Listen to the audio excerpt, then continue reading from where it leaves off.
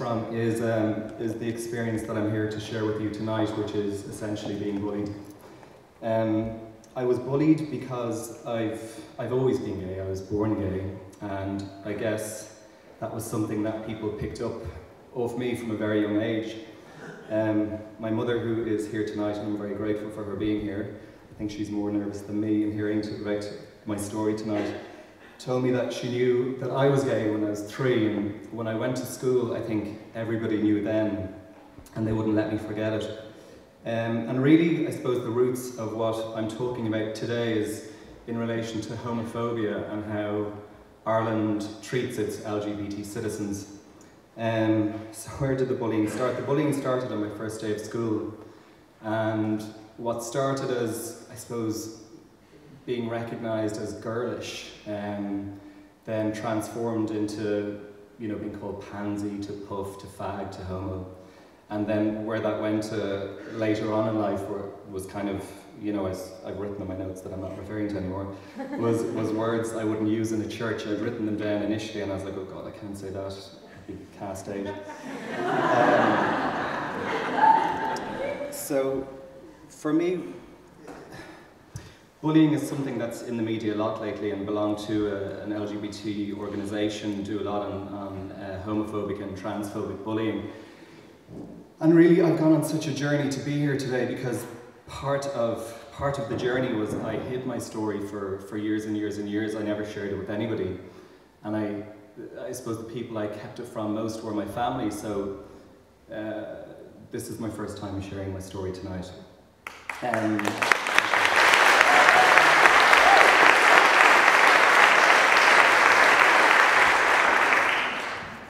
for a start, I'd, I think that bullying is a term that um, is definitely overused in our society. We talk about it in the business world and in every world, and, and for me, it's just it, it's kind of lost. It's lost its. It's okay to throw. it's lost its power and its impact. And, and my first-hand experience is that bullying does ruin lives, and it takes years away from people, and it takes years to rebuild that time back. Um, as I said, my mum and sister are here and they've been just amazing on that journey and I probably wouldn't be here and brave enough to speak about it. But anyway, as I said, where the bullying started was being called, you know, girl, pansy, gay, and then it was in secondary really that it turned into fag, puff, fairy and homo.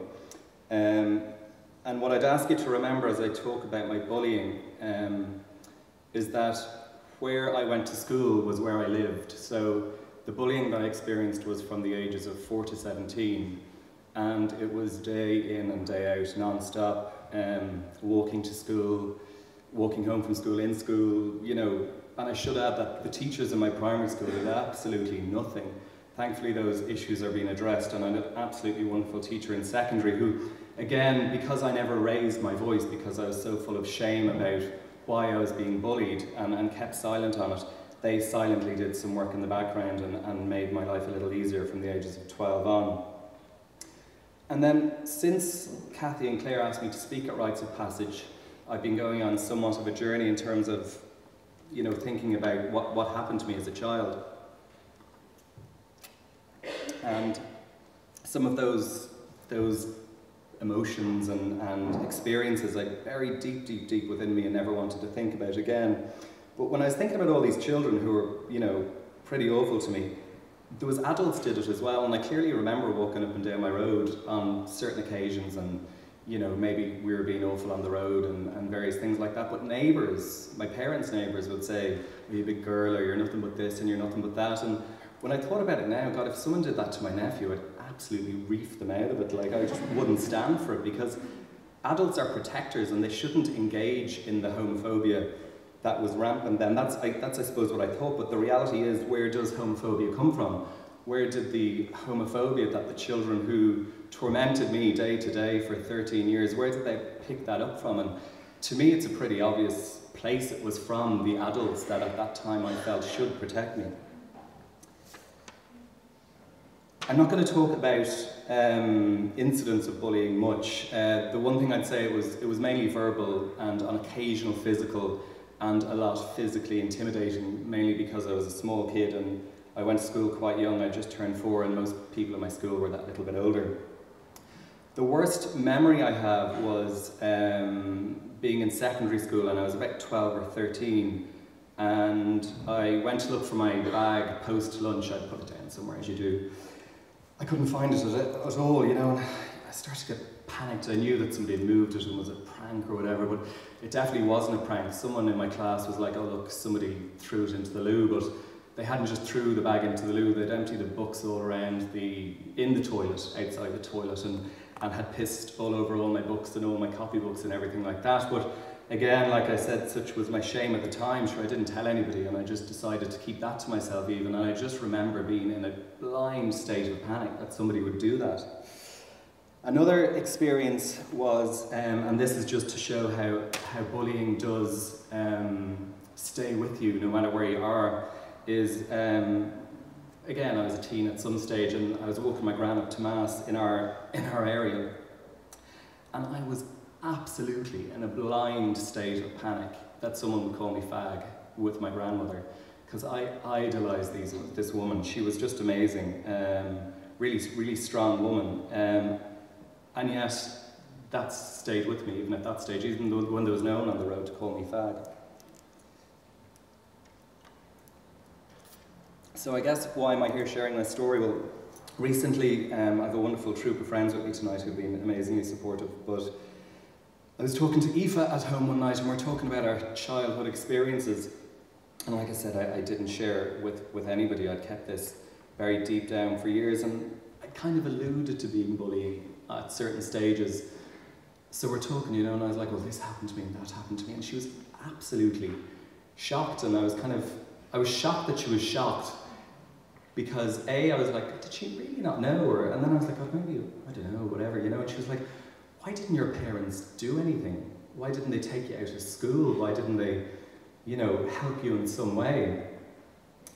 And literally really calmly, rather than get annoyed that she was, you know, questioning how my parents raised me, I was like, well, I never told them.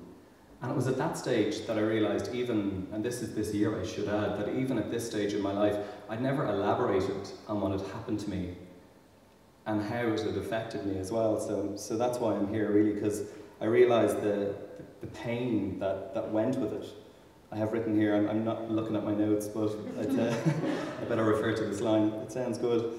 I, I brushed it off as a kind of growing pain, but it was far more than a growing pain, because pain comes and goes, but emotional scars last a very, very long time and sometimes forever. And I have had really carry that pain with me for a long time while projecting this image that that was happy. Like if you asked anybody about me as a child, a teen, or anybody of my friends who are in college, I'm permanently happy and laughing. And part of that was to hide what was experiencing, what I was experiencing as a child. So in 1981, which was the year I started school, being gay was and still is among certain individuals and groups a heinous, sinful and evil act. My treatment in school was just the way young boys picked up, assimilated, and expressed the rampant homophobia present in society. Homosexuality was a criminal offence between men. In the 1980s, men and women and transgender people, and those who hadn't left for England or America, were beaten, mutilated, and murdered across Ireland. It's really part of our recent history that isn't terribly documented.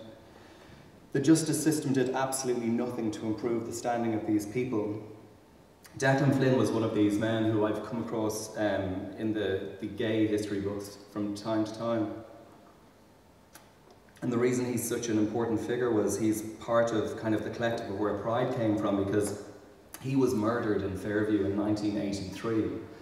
And when the men that were brought to, well, brought to justice, the men who went to court over it, oh God, um, when they went to court over it, their, their sentences were overturned. They served absolutely no prison time, and that was because there was no, there was nothing, no respect for gay men. Then legislation didn't protect us. Uh, it, it actually worked against us.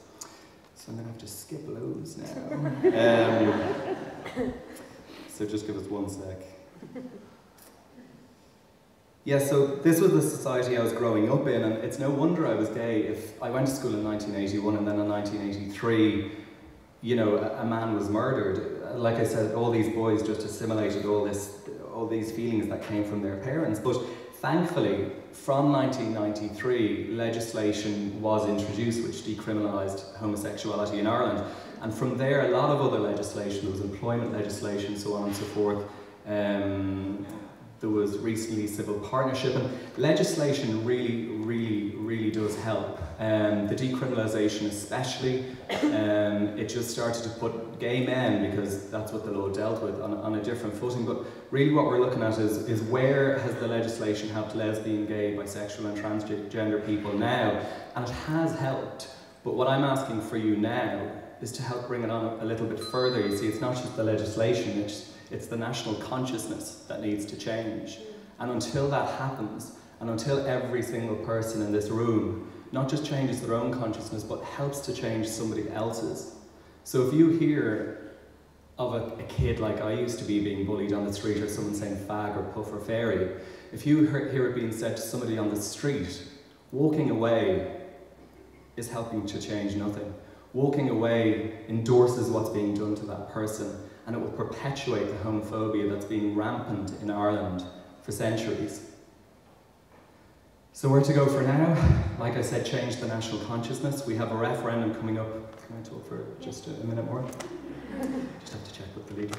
Um, there's a referendum coming up on marriage equality. We hope sometime soon. Um, I'm the, the acting director of an organisation who's campaigning for equal marriage rights for same-sex couples in Ireland, so I do have a vested interest. But when I think about it, rites of passage are so important in our lives. There are times when we, you know, we just come into our own and we shine. And LGBT, LGBT people are denied that on a daily basis. You know, even coming out, sometimes it has to be done in secrecy. But marriage, which a lot of people would see as a hugely important rite of passage, is denied to us.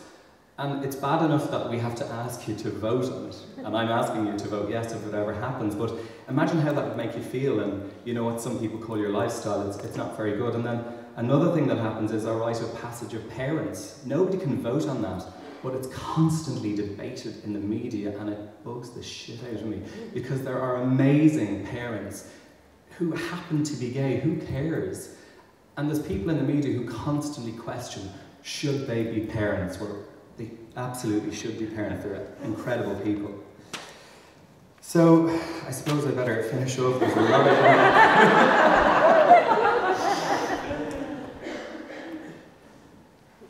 So, where to go from now?